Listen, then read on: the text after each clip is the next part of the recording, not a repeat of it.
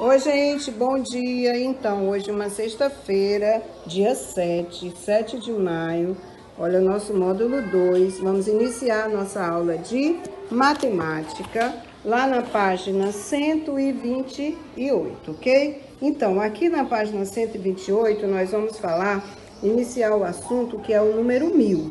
Então, você está vendo aqui a Joyce Joyce está colocando, colocando botões, são botões aqui, em um painel para formar um mosaico, né? E lembrando o que é mosaico, olha só, aqui embaixo uma explicação.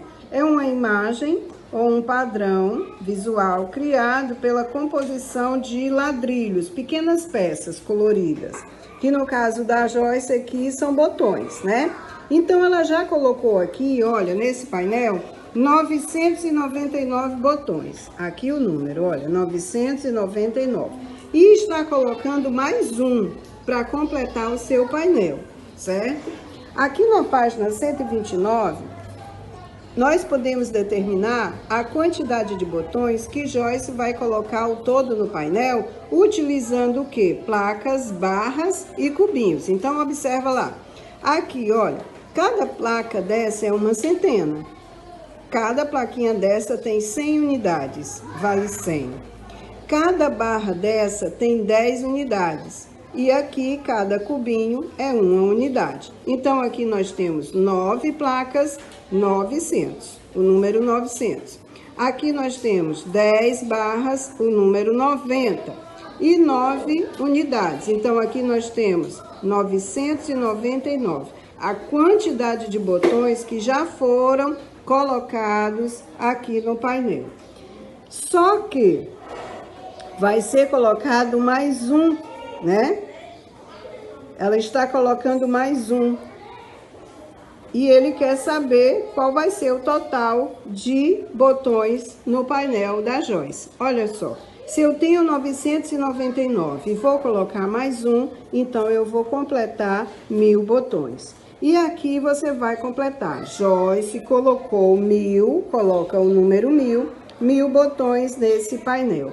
Então vamos lá, gente. Essa é a unidade de milhar.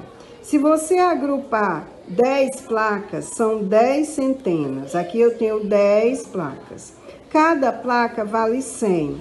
Então, se eu for colocar agrupado aqui 10 placas, olha só, 100 mais 100, 200, 300, 400, 500, 600, 700, 800, 900, mil. Então, aqui eu tenho mil, mil cubinhos, mil unidades. Então, nós, vamos, nós podemos trocar por esse cubo aqui, olha. O cubo no material dourado, ele representa mil, uma unidade de milhar. Então, eu posso trocar 10 placas por o cubo, que é a mesma quantidade. 10 centenas igual a mil. Gente, continuando, é, lá na página 130, você vai observar aqui a representação do número mil, né? No quadro de ordens e no ábaco, né? A gente viu é, na outra página no material dourado, né? E agora vamos ver aqui no quadro de ordens. No quadro de ordens, antes a gente só, tá, só vinha até aqui a centena, lembra? Número com três ordens. Mas agora a gente vai ampliar para unidade de milhar. Então, continua unidade, dezena, centena e agora unidade de milhar, ok? O M significa unidade de milhar. E agora no ábaco, olha a representação. Uma unidade de milhar, uma bolinha, nenhuma centena, nenhuma dezena e nenhuma representando a unidade. Então, nós temos aqui o número mil, certo? Seguindo aqui, nós temos algumas atividades. Ele pede que você complete as sequências. Olha só, aqui ele pede que você some mais um. 990 mais um, 991 mais um, 992 mais um, 993. 994, mais um, 995, mais um, 996, 997, mais um, 998, 999, mais um, mil. Aqui você viu que foi acrescentado uma unidade, aqui, olha. um aqui.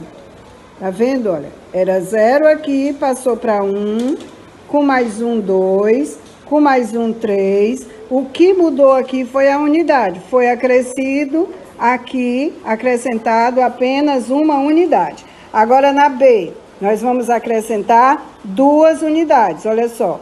980 mais 2, 982, com mais 2, 984, com mais 2, 986, com mais 2, 988, com mais 2, 990, com mais 2, 992, com mais 2, 994, com mais 2, 996, com mais 2, 998, com mais 2, mil. Então, aqui foi acrescentado apenas mais duas unidades a cada número. Aqui na C, o acréscimo foi de 5 unidades, olha. Então, o que vai mudar aqui, olha, 950 com mais 5, 955 a gente está mudando aqui o número que representa a unidade. Com mais 5, 960. E aqui, 965, 970, com mais 5, 975, com mais 5, 980, 985, 990, 995, com mais 5, mil. Então, agora aqui na questão 2, ele pede que você complete o esquema de maneira que o resultado das adições seja igual a mil. 997 para mil, falta quanto? 998, 999, mil. Então, preciso de três unidades, né? 900 para chegar em mil, 100. 990 para chegar em mil, 10. 998 para chegar em mil, 2. 995 para chegar em mil, 5. 950 para chegar em mil, 50, ok? Então aqui você acrescenta o que o número precisa para chegar no número mil, ok? Então, gente, seguindo agora com a página 131, vamos falar sobre os números é, maiores do que mil, certo? O Teatro Amazonas, que é esse que vocês estão vendo aqui, olha, localizado no centro de Manaus, no estado do Amazonas, foi inaugurado no dia 31 de dezembro de 1896 tombado como Patrimônio Histórico Nacional em 1966, ele é considerado o principal símbolo arquitetônico cultural do estado. Olha só, ele aqui. Então, na primeira questão, ele pede que você observe a representação desses números aqui, olha, 1896 e 1966. Eles estão representados aqui, ó, em cubo, placas é, barras e cubinhos. Primeiro, olha só, nós temos aqui a representação do número mil, que é uma unidade de milhar, o número mil. Aqui nós temos oito centenas, oitocentos. Temos aqui nove dezenas, que é noventa, e seis unidades, certo? Então, nós temos mil oitocentos e noventa e seis. Agora aqui embaixo nós temos mil, que é uma unidade de milhar, vão colocando o número. Nove centenas, novecentos. Seis dezenas, sessenta. E seis unidades, mil novecentos e sessenta e seis. Na segunda questão, logo aqui embaixo, ele pede que você escreva esses números por extenso. Mil oitocentos e noventa e seis 1966. Agora, seguindo a página 132. Na página 132, nós temos aqui, ainda falando sobre o Teatro Amazonas, citado anteriormente, porque ele tem capacidade para 701 pessoas. Então, 701 pessoas podem é, assistir uma apresentação nesse teatro. Em um final de semana, foram apresentadas duas sessões de uma peça de teatro, com lotação máxima, ou seja, 1.402 pessoas estiveram presentes nesse teatro no final de semana. Observe o número 1402, representado no quadro de ordens e também no ábaco. Olha aqui o quadro de ordens. O 1 representa a unidade de milhar, o 4, quatro centenas, o, o D, a dezena, não tem nenhuma dezena aqui, zero dezena, e duas unidades. Aqui no ábaco, uma unidade de milhar, quatro centenas, nenhuma dezena e duas unidades. Ele pede que você decomponha e também escreva por extenso o número representado no ábaco e também no quadro de ordens. Olha, se eu tenho aqui 1402, é igual a 1000, eu separo a, a unidade de milhar, mais 400, que é o representante da dezena, mais 2, já que não tem nenhum representante na dezena. Esse aqui é o representante da centena, 400. 1402. Essa é a escrita por extenso. Quando pede para você escrever por extenso, você tem que escrever o nome do número.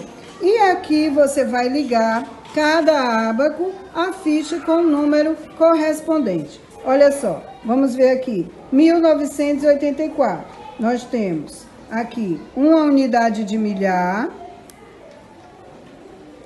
uma unidade de milhar, nove centenas, oito dezenas e quatro unidades, certo? Quatro unidades, é esse aqui.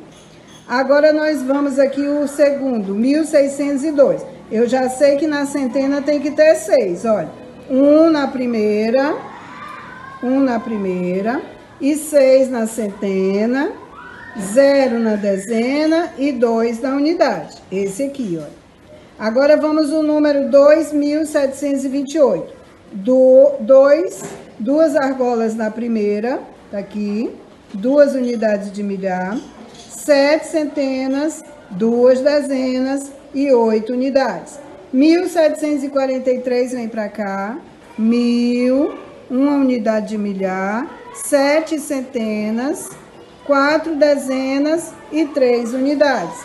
E por último, o número 2041, duas unidades de milhar, nenhum representante na centena, olha, zero, quatro dezenas e uma unidade. E encerramos aqui a nossa aula de matemática de hoje. Até a próxima. Tchau, tchau.